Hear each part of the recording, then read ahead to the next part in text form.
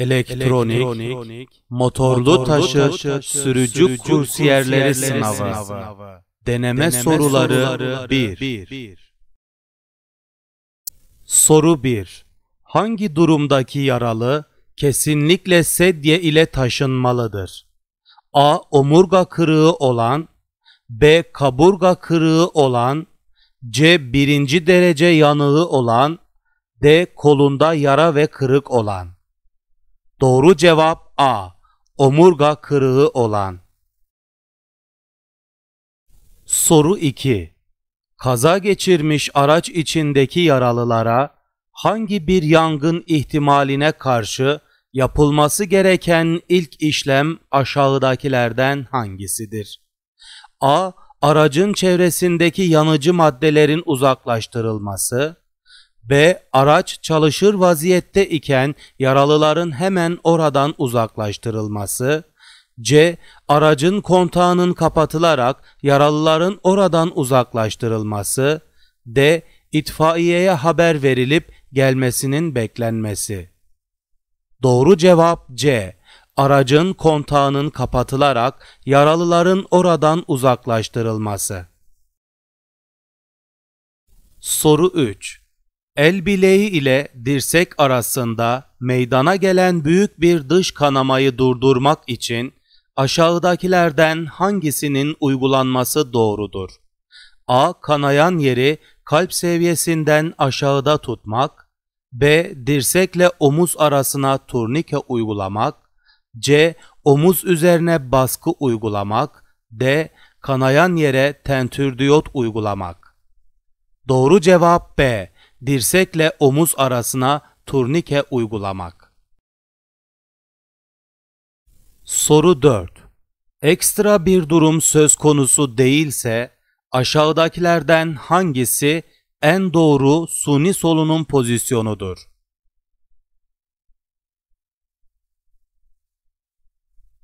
Doğru cevap A. Soru 5. İnsan vücudunda bulunan damarlarla ilgili olarak verilen bilgilerden hangisi yanlıştır? A. Atar damarda kan basıncı toplar damara göre daha azdır. B. Toplar damarlar genelde cilde yani yüzeye yakındır. C. Kılcal damarlardaki kanama hayati tehlike arz etmez. D. Toplar damar kanamalarında kan koyu renkli olur. Doğru cevap A. Atar damarda kan basıncı toplar damara göre daha azdır. Soru 6. Trafik kazalarına müdahalede ilk yardımın birinci adımı nedir? A. Hemen tıbbi yardım istenmesi. B. Yaralının hemen hastaneye taşınması. C. Yaralının hemen araçtan çıkarılması. D. Trafik ve can güvenliğinin sağlanması. Doğru cevap D. Trafik ve can güvenliğinin sağlanması. Soru 7. Aşağıdakilerden hangisi solunum durmasına bağlı olarak dokuların oksijensiz kaldığını gösteren bir belirtidir? A. Göz bebeklerinin küçülmesi B. Kişinin aktif ve huzursuz olması C. Yüzde kızarma ve vücut sıcaklığının artması D. Parmak uçları ve dudaklardan başlayıp yayılan morarma olması. Doğru cevap D. Parmak uçları ve dudaklardan başlayıp yayılan morarma olması. Soru 8. Aşağıdakilerden hangisi kanamalarda yapılan yanlış bir uygulamadır? A. Kanayan bölgeyi kalp seviyesinden yukarıda tutmak. B. Kanayan damarın üzerine basınçlı sargı uygulamak. C. Kanayan bölgeyi kalp seviyesinden aşağıda tutmak. D. Kanayan damarın üzerine bastırmak. Doğru cevap C. Kanayan bölgeyi kalp seviyesinden aşağıda tutmak. Soru 9. Yanık vakalarında uygulanan ilk yardımda aşağıdakilerden hangisinin yapılması yanlıştır? A. yanığa bağlı oluşan su dolu kabarcıkların patlatılması, B. Kazazedenin alevli yanması durumunda hava ile temasının kesilmesi, C. Kimyasal madde yanıklarında yanan bölgenin bol su ile yıkanması, D. Bilinci yerinde ise bol su verilmesi. Doğru cevap A.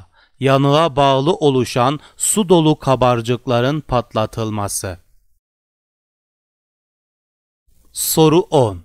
Aşağıdakilerden hangisi şokun belirtilerindendir? A. Deride kızarıklık B. Vücut sıcaklığının artması C. Solunumun aniden derinleşmesi D. Nabzın süratli ve zayıf olması Doğru cevap D. Nabzın süratli ve zayıf olması. Soru 11. Göğüsteki delici yaradan hava girmemesi için yara aşağıdakilerden hangisi ile kapatılır? A. Kuru pamukla B. Atel ile C. Kuru ve temiz bez ile D. ıslak temiz sargı beziyle. Doğru cevap D. Islak temiz sargı beziyle. Soru 12. Kaza sonucu vücudun hangi kısımlarında çıkık görülebilir?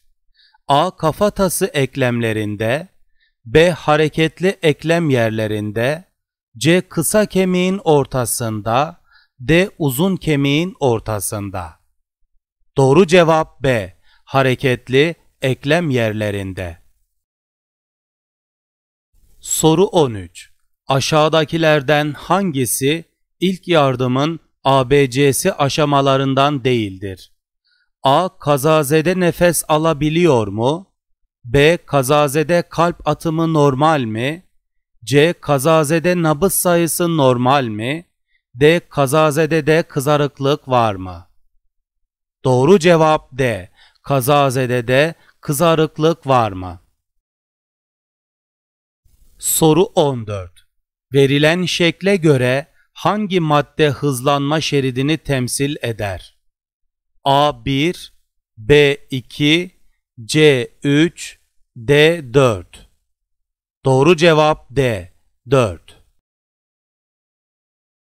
Soru 15. Şekildeki gibi daralan bir yola gelen iki araç için aşağıdakilerden hangisi doğrudur? A. Dar yoldan önce bir numaralı araç geçmelidir. B. Bir numaralı araç iki numaralı araca yol vermelidir. C. Bir numaralı araç sürücüsü iki numaralı araç sürücüsünü ikaz edip durdurmalıdır. D. İki numaralı araç geri gitmelidir. Doğru cevap B. Bir numaralı araç iki numaralı araca yol vermelidir. Soru 16. Taşıtlarla ilgili aşağıdaki hallerden hangisi durma örneğidir? A. 5 dakikadan fazla beklemek B. 5 dakikadan az beklemek C. Yük yüklemek veya boşaltmak D. Yolun kapalı olması durumunda beklemek Doğru cevap D. Yolun kapalı olması durumunda beklemek. Soru 17. Şekle göre aşağıdakilerden hangisi doğrudur? A. 3 numaralı aracın 2 numaralı aracı ikaz ederek durdurması. B. 1 numaralı aracın dönüşünü tamamlaması. C.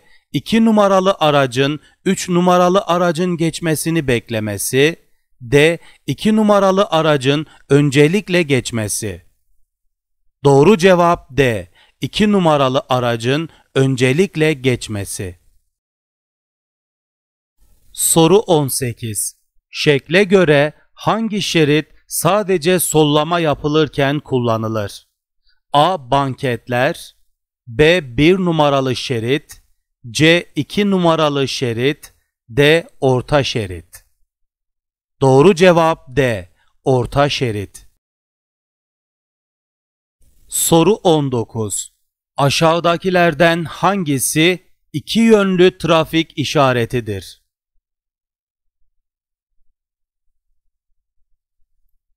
Doğru cevap D.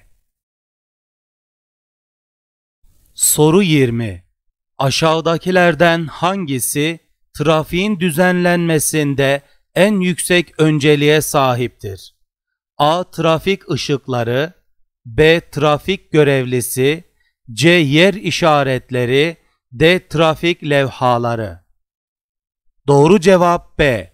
Trafik görevlisi Soru 21. Aşağıdakilerden hangisi şehirler arası karayollarının yapım ve bakımından sorumludur? A. İl Belediye Başkanlığı B. Emniyet Genel Müdürlüğü C. Karayolları Genel Müdürlüğü D. Bayındırlık ve İskan Bakanlığı Doğru cevap C. Karayolları Genel Müdürlüğü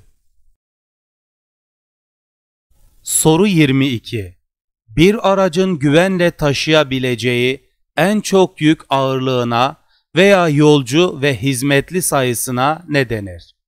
A. Gabari B. Azami toplam ağırlık C. Taşıma sınırı, kapasite D. Yüklü ağırlık Doğru cevap C.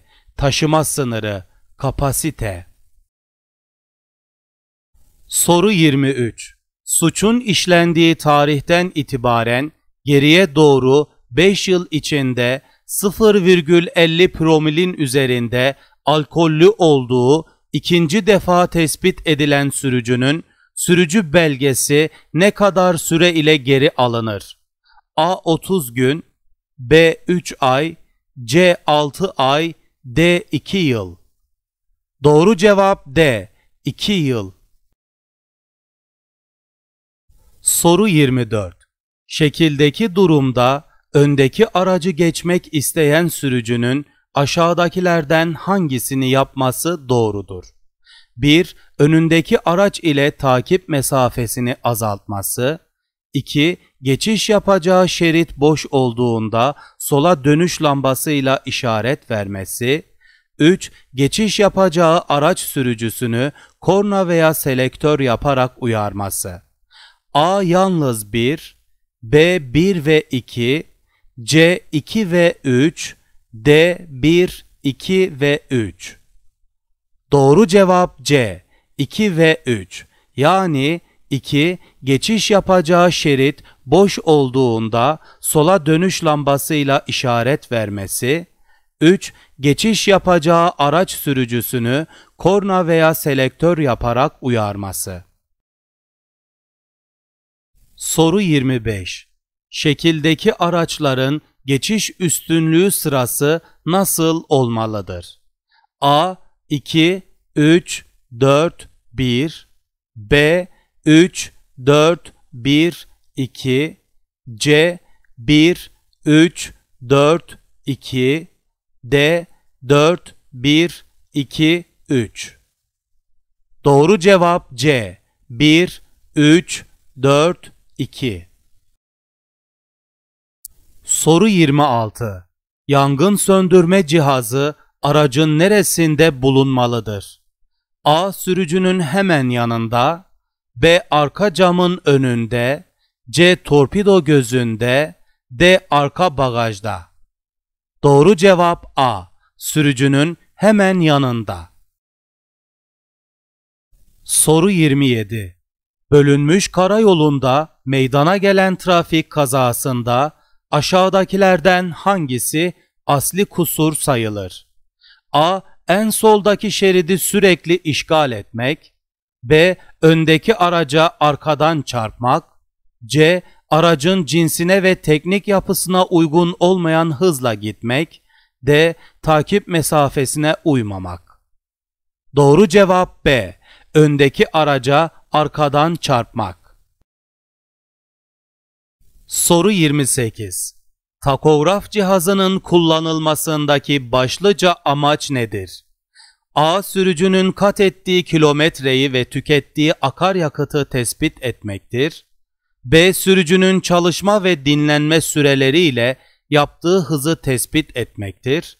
C. Sürücünün çalıştığı günleri ve hak ettiği ücreti tespit etmektir. D. Sürücünün taşıdığı yük miktarını ve aldığı parayı tespit etmektir. Doğru cevap B. Sürücünün çalışma ve dinlenme süreleriyle yaptığı hızı tespit etmektir. Soru 29. Şekle göre araç sürücüsünün hangisini yapması yasaktır? A. Aynı yönde seyretmesi B. Sağa dönüş yapması C. Sola dönüş yapması D. Kavşağa yaklaşırken hızını azaltması Doğru cevap A. Aynı yönde seyretmesi. Soru 30.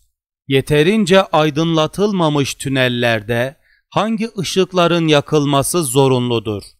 A. Acil uyarı ışıklarının B. Sis ışıklarının C. Uzağı gösteren ışıkların D. Yakını gösteren ışıkların Doğru cevap C. Uzağı gösteren ışıkların Soru 31 Trafiğe çıkan araçta tescil belgesi ile birlikte hangisinin bulunması gerekir? A. Noter satış belgesinin B. Kasko belgesinin C. Trafik belgesinin D. Karayolu uygunluk belgesinin Doğru cevap C. Trafik belgesinin Soru 32 Şekildeki resme göre hangi aracın ilk geçiş hakkı vardır? A. At arabası B. Motosiklet C. Otomobil D. Kamyonet Doğru cevap C. Otomobil Soru 33 Yayaların ve araç kullananların diğer yaya ve araç kullananlara göre yolu kullanma sırasındaki öncelik hakkına ne denir? A. Geçiş hakkı B. Geçiş yolu C. Geçiş kolaylığı D. Geçiş üstünlüğü Doğru cevap A. Geçiş hakkı Soru 34 Karayolunun sağına ve soluna koyulan trafik işaretinin anlamı nedir? A. 200 metre sonra yol daralacaktır. B. 200 metre sonra köprü var. C. 200 metre ileride kavşak var. D. 200 metre ileride demir yolu hem zemin geçit var. Doğru cevap D. 200 metre ileride demir yolu hem zemin geçit var. Soru 35. Aksine bir işaret yoksa otomobiller için yerleşim yeri dışındaki bölünmüş yollarda azami hız sınır saatte kaç kilometredir? A 90, B 100, C 110, D 120. Doğru cevap C 110. Soru 36. Yeni alınmış bir araçta kaç yıl sonra araç muayene yapılması gerekmektedir? A1, B2, C3, D4. Doğru cevap C. 3. Soru 37. Şekildeki trafik işareti neyi bildirir? A. Traktör park alanı B. Traktör çıkabileceğini C. Traktörün giremeyeceğini D. Sadece traktörün girebileceği Doğru cevap C. Traktörün giremeyeceğini Soru 38 Taşıt yolu üzerinde çizilen çizgilerden hangileri yaya geçidini ifade etmez? A. 1 ve 3 B. 1 ve 2 C. 2 ve 3 D. Yalnız 3 Doğru cevap D. Yalnız 3 Soru 39 Tepe üstüne yakın yerde veya dönemeçte arızalanan aracın ön ve arkasından en az kaç metre uzağa yansıtıcı konulmalıdır? A5, B15, C20, D30. Doğru cevap D. 30. Soru 40. Kamyon, kamyonet ve römorklarda yükle birlikte yolcu taşınırken aşağıdakilerden hangisinin yapılması yasaktır? A. Yolcuların kasa içinde ayrılmış bir yerde oturtulması. B. Kasanın yan ve arka kapaklarının kapatılması. C. Yolcuların yüklerin üzerine oturtulması. D. Yüklerin bağlanması. Doğru cevap C. Yolcuların yüklerin üzerine oturtulması. Soru 41. Aşağıdakilerden hangisinin bozuk olması ön tekerleklerde düzensiz lastik aşıntısına sebep olur? A. Buji ayarının B. Rot ayarının C. Avans ayarının D. Rölanti ayarının Doğru cevap B. Rot ayarının. Soru 42. Aşağıdakilerden hangisi etkili bir frenleme yapılamamasına neden olur? A. Hidrolik yağı seviyesinin yüksek olması B. Fren pedal boşluğunun az olması C. Balataların ve fren sisteminin ıslanmış olması D. Balans ayarının iyi olması Doğru cevap C. Balataların ve fren sisteminin ıslanmış olması. Soru 43. Aşağıdakilerden hangisi aküyü şarj eden parçadır? A. Endüksiyon bobini B. Marş motoru C. Distribütör D. Alternatör Doğru cevap D. Alternatör Soru 44. Aşağıdakilerden hangisi soğutma sisteminde yapılması gereken kontrollerden birisidir? A. Elektrolit kaçağı B. Yağ kaçağı C. Su kaçağı D. Hidrolik yağ kaçağı Doğru cevap C. Su kaçağı Soru 45 Şekilde soru işareti ile gösterilen kapaktan motora ne konulur? A. Antifriz B. Motor yağı C. Fren hidroliği D. Motor soğutma suyu Doğru cevap B. Motor yağı Soru 46 Aşağıdakilerden hangisi bujilerin ayarsız oluşu veya aşınmasına bağlı olarak meydana gelir? A. Motorun çekişten düşmesi B. Motorun hararet yapması C. Akünün çabuk bitmesi D. Motorun yağ yakması Doğru cevap A. Motorun çekişten düşmesi. Soru 47. Araçlarda arka camın rezistanslı, ısıtıcılı olmasının nedeni aşağıdakilerden hangisidir? A. Camın patlamasını önlemek B. Radyo ve televizyon anteni olarak kullanmak. C. Camda oluşan donma ve buğulanmayı önlemek. D. Cam yapışkanının cama ve gövdeye sağlam tutunmasını sağlamak. Doğru cevap C. Camda oluşan donma ve buğulanmayı önlemek. Soru 48. Aşağıdakilerden hangisi yakıt tüketimi ile ilgili yanlış bir bilgidir. A. Kışın araçların yakıt tüketimi yaza göre daha fazladır. B. Aşırı hızlı araç kullanmak yakıt tüketimini arttırır. C. Tekerlerin basınçların düşük olması yakıt tüketimini arttırır. D. Akünün işlevini kaybetmiş olması yakıt tüketimini arttırır. Doğru cevap D akünün işlevini kaybetmiş olması yakıt tüketimini arttırır. Soru 49. Aracın gösterge panelinde bulunan şekildeki gösterge sürücüye neyi bildirir? A. Aracın hızını B. Yakıt miktarını C. Motor sıcaklığını D. Motor devir sayısını Doğru cevap D. Motor devir sayısını Soru 50. Araç seyir halindeyken gösterge panelinde hangisinin yanıyor olması fren sisteminde hidrolik seviye düşüşü veya bir arıza olduğunu bildirir. Doğru cevap D. Sınavınızda, Sınavınızda başarılar, başarılar dilerim. dilerim. Abonem, Abonem olmayı, olmayı, beğen, ve beğen yorum, ve yorum yapmayı, yapmayı unutmayalım. unutmayalım.